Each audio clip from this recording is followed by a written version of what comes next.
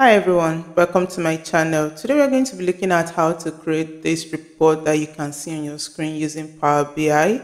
Um, you have a slicer up here that you can filter and you can scroll to the right and filter for a particular item. You have the total sales, quantity, number of states, um, the item itself, showing a pictorial depiction of that then the rating, the average rating of the item, the delivery type, distribution, then sales by state and sales by product itself, then the trend of sales.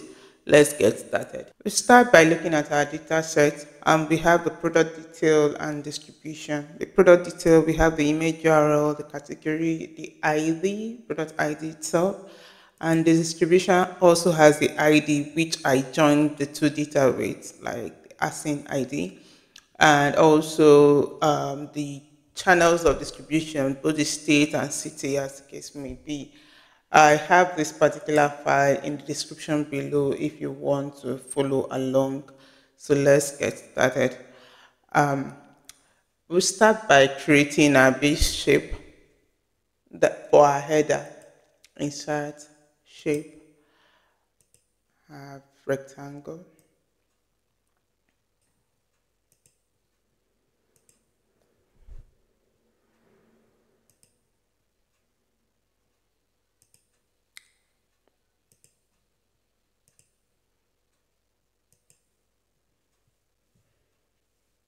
Then the background.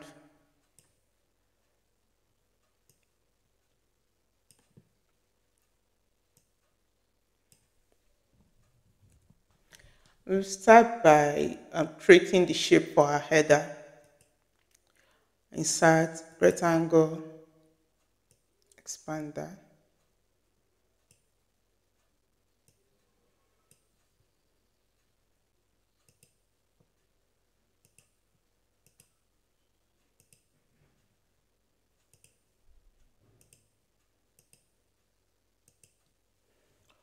Then um, let's insert the first slicer. We're going to be using the new slicer. And for that, we want to put our category. We're going to change layout to single row and maximum of seven.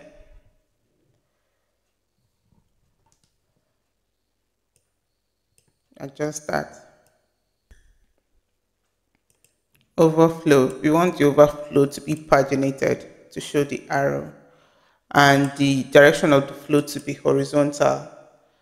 Then we don't want the title and let's quickly format that.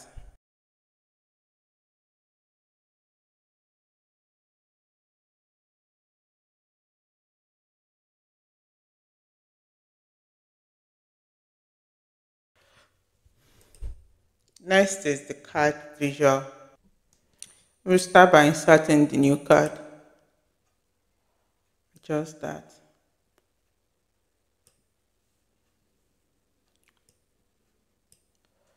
And I want to have my total sales. I already have some measures created, total sales. It's just the sum of the sales column. I will add that here. Then the next one is quantity Quantity can be found in the distribution um, table that. Then um, number of state. So we have a shipped state. So I will change this to be a count distinct of shipped state. Then rename this.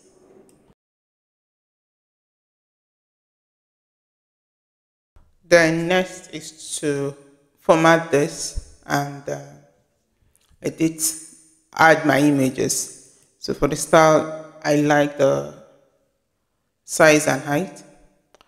And next is on the color value.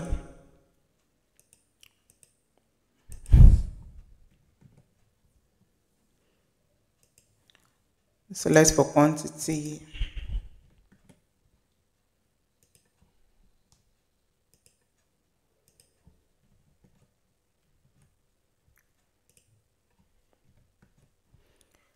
The label itself, I want the labels to also increase.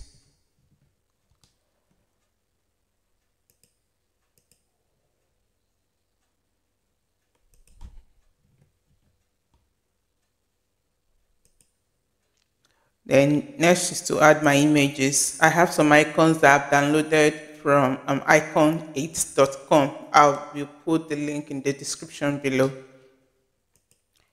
So for total sales, I want to add image and the image type is normal image. I'll browse through my stuff. Uh, sales icon. I want it to be um, above my text. Then for quantity, same thing for quantity.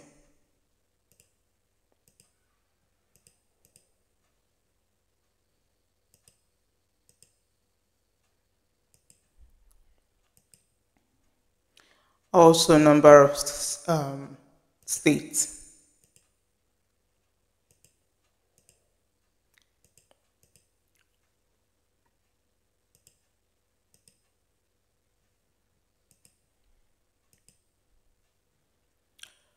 Next is to add a descriptive image of the selected category.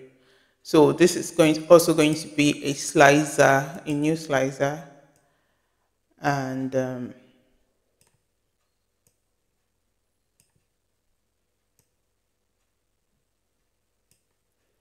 I have the category in it.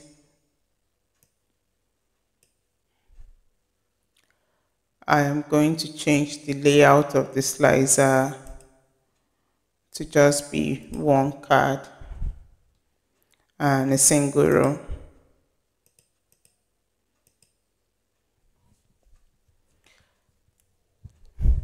Turn off the title and the color value. Then add the image.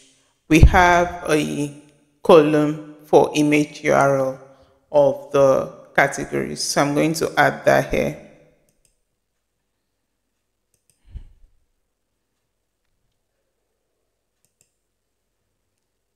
So I'm going to fit that to normal. So this actually shows what is being selected on the slicer. And okay, I want a description. So let me add a description as my label.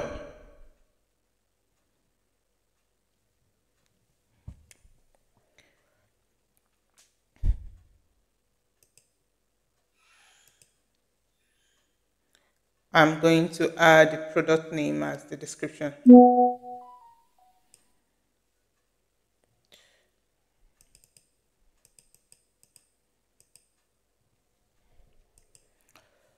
All right. So next is the trend of sales. We are going to insert an area chart and we are going to insert the sales, measure, and date from our distribution table.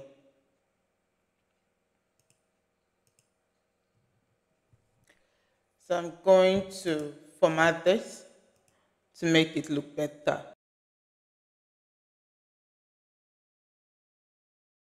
Next I'm going to do is to highlight our minimum and maximum values on this area chart.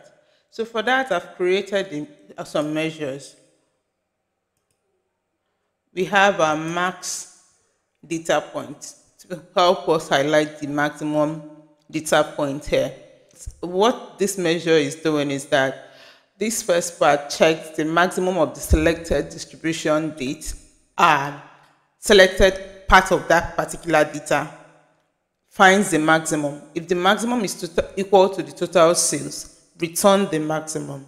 If not, return blank. The minimum data point also is the same thing, just the opposite. If the, it first of all finds the minimum of the selected part of the data, which is related to the date. And if the minimum of that particular selected part is equal to the total sales, return the minimum if not, return blank. So I'm going to add that to this data um, chart now to identify what we have. At the maximum and the minimum. So right now you can see the maximum and minimum. So I'll quickly format this. Turn on the marker for all and turn off for sales. We only want the maximum and minimum. Then for maximum data point, we want the color to be green. For the minimum, we want the color to be red.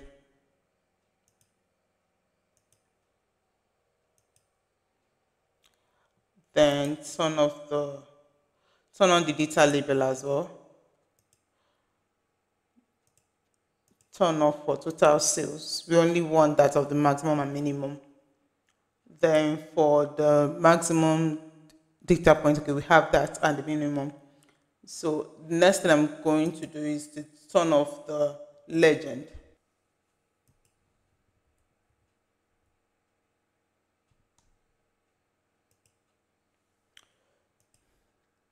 Then change the title.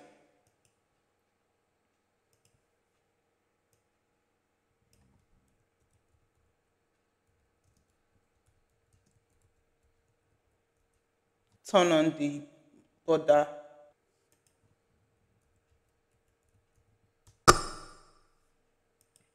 So um, the next thing we are going to do is to create, check the average rating. For the average rating, we are going to be using a custom visual, rating visual.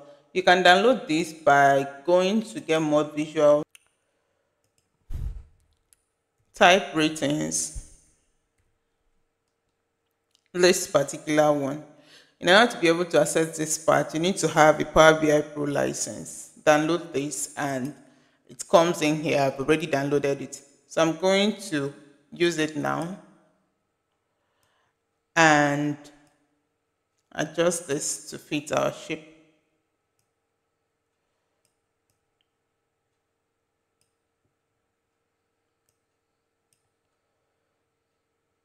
Then add the ratings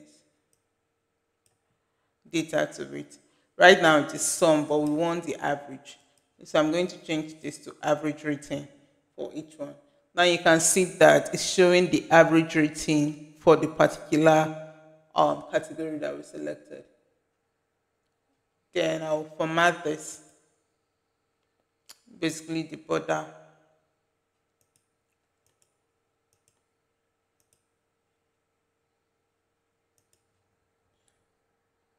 and increase the font.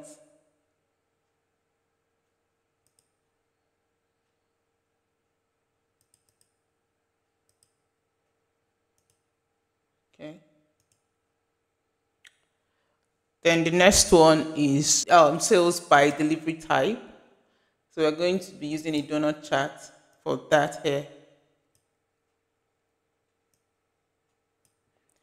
So in that case, I'm going to drag this down a little so that it will fit our concept.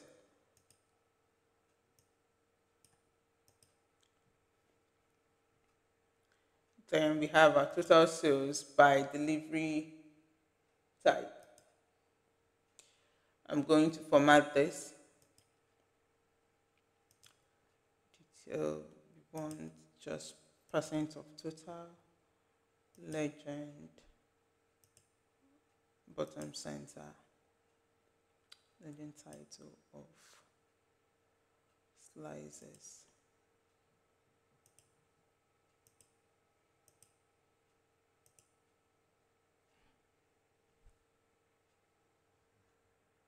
Then the border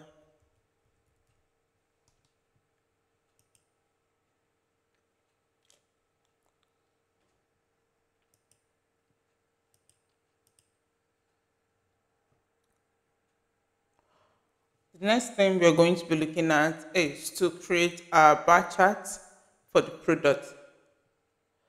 So to do that, we are going to select a bar chart, adjust it,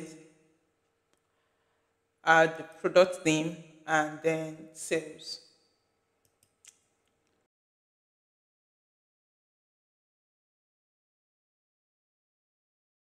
Then I'll copy and paste this.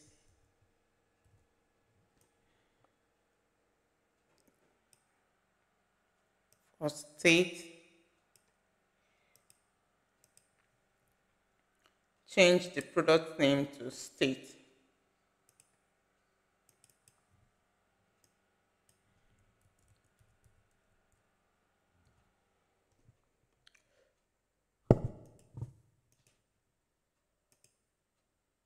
Finally, I am going to be adding our Amazon logo here.